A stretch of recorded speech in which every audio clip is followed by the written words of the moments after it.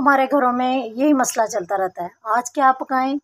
दाल पका लेते हैं, ये नहीं खाना। सब्ज़ी पकानी है? नहीं। आधे अफराद कहेंगे, हमने सब्ज़ी नहीं खानी। तो फिर क्या पकाएँ? मसला है। छोटे बच्चे ख़ास तौर पे ना तो दालें पसंद करेंगे, ना सब्ज़ियाँ पसंद करेंगे। बस मामा फास्ट फ़ूड हो जाए, कुछ चूज़ी डिशेस हो जाएँ, बस वो ही खाएँगे हम। शवरमा खाएँगे ब्रेड खाएँगे, ये खाएँगे, पर हमने दाल और सब्ज़ियाँ नहीं खानी। ये मेजर हर घर का प्रॉब्लम है। तो क्या करें?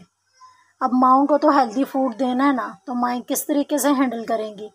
ये भी एक, हर माँ के लिए एक मसला है। आज मैं आपको मीट के साथ एक झटपट तैयार होने वाली ऐसी डिश बताने जा रही हूँ, जो बनाने में बेहद आसान है और बहुत ज़्यादा सिंपल और मुख्तसर से इंग्रेडिएंट्स के साथ बन जाती है। और बच्चे, आप ये नहीं कहेंगे, मामा, हमने गोश्त है, ये निकाल के प्लेट में साइड पे रख दिया। नहीं, ऐसे बिल्कुल नहीं कहेंगे, बल्कि इसको चम्मच के साथ खाएँगे। आप यकीन करें, ये बनाने में बेहद आसान है और इसमें किसी किस्म की कोई भी मुश्किल नहीं है। तो आए, हम बनाना स्टार्ट करते हैं। सबसे पहले गोश्त में आप चाहे मीट का ले लें मीट मटन ले लें या बीफ ले लें, कोई सा भी मीट हो आप ले लें। इवन कि आप चिकन का भी ये बना सकते हैं। ठीक है? इस वक्त मेरे पास मटन है तो मैंने मटन लिया मटन में तीन कप आपने पानी डाला, ठीक है?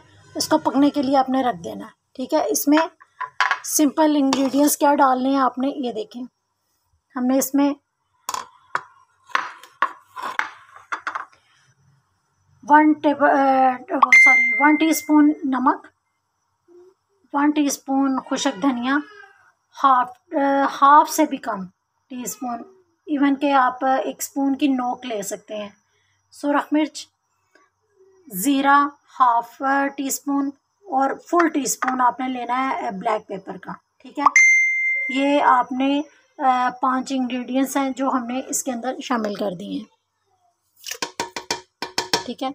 इसके अंदर हमने शामिल कर दिए हैं। अब इसको हम पकने के लिए रख देंगे, ताकि ये थोड़ा गल जाए। इसके बाद हम इसको भूनेंगे। हमारे गोश्त का पानी अब खुश्क हो चुका है, ठीक है? अब हमने इसके अंदर ऑयल डालना और काफ़ी हद तक मेरे में गल चुका है, ये देखें, ठीक है?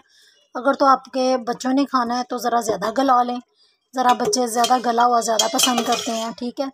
इसके अंदर ये हमने ऑयल डाल दिया, ठीक है?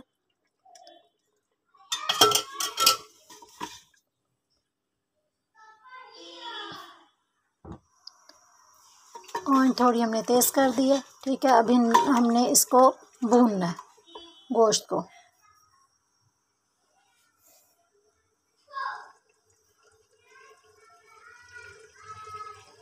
हमने इसके अंदर कोई लहसुन, कोई अदरक, कोई प्याज, कुछ भी नहीं डाला। आपके सामने है। बिल्कुल सिंपल है। इंग्रेडिएंट्स जो मैंने आपको चार पाँच बताए हैं, बस वही डाल के हमने गोश्त को पकाया है। हमने इसके अंदर ऐसा कुछ भी नहीं डालना।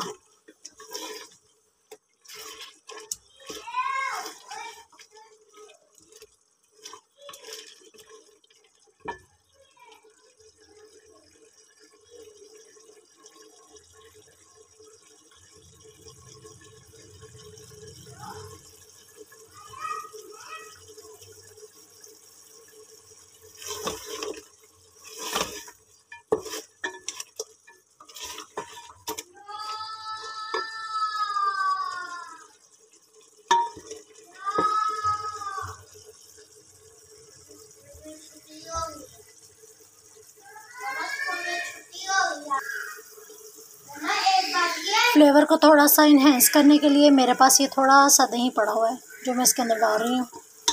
ठीक है? ये ऑप्शनल है, अगर आपके पास नहीं है तो अपना डालें।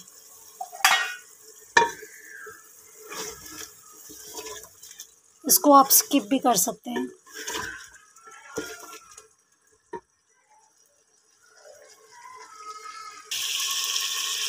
देखिए थोड़ा थोड़ा ऑयल छोड़ता हुआ जब गोश्त आपको नज़र आए, ठीक है?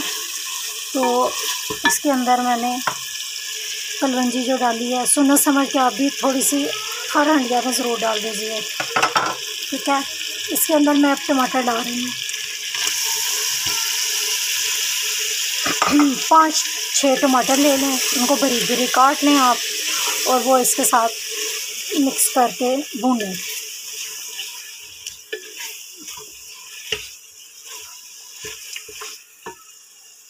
थोड़ी देर भूनने के बाद आपने इसको ढक्कन दे के रख देना ताकि टमाटर अपना पानी छोड़ दे और गोश्त के साथ इसके जायका थोड़ा सा मिक्स हो जाए।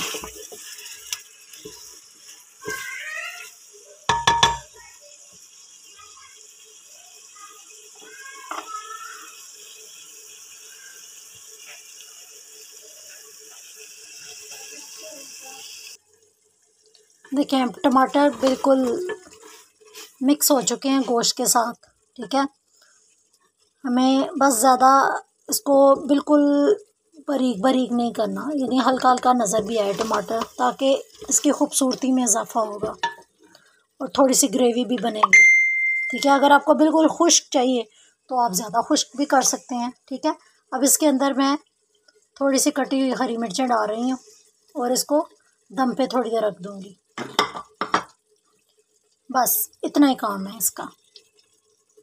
अगर आपको ज़्यादा स्पाइसी चाहिए तो आप ज़्यादा हरी मिर्चें डाल लें, लेकिन मैं बिल्कुल थोड़ी सी डाल रही हूँ, सिर्फ़ फ्लेवर के लिए। अब इसको ढक दें।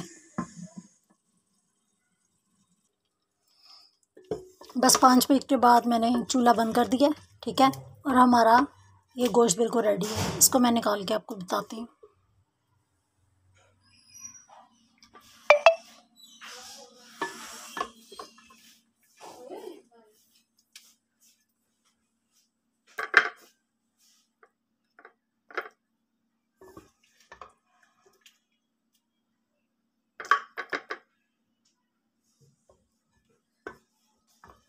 माशाल्लाह, बहुत प्यारी खुशबू आ रही है। इतनी प्यारी खुशबू आ रही है कि आपका दिल करेगा कि अभी बस खा लें इसको।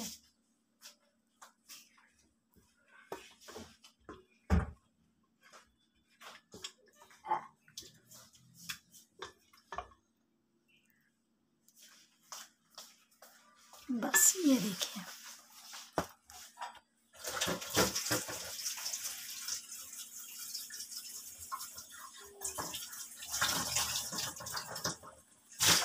इसको आप वाइट मीट भी कह सकते हैं, नमकीन गोश्त भी कह सकते हैं, टमाटर वाला गोश्त भी कह सकते हैं, कुछ भी नाम दे सकते हैं।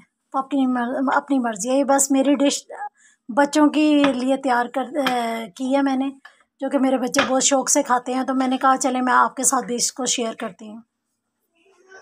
अगर आपको मेरा चैनल पसंद आया है, मेरी चीज़ें बनाई हुई, झटपट तैयार होने वाली डिशेज़ अगर पसंद आई हैं तो प्लीज़ मेरे चैनल को लाइक और सब्सक्राइब करना मत भूलिएगा।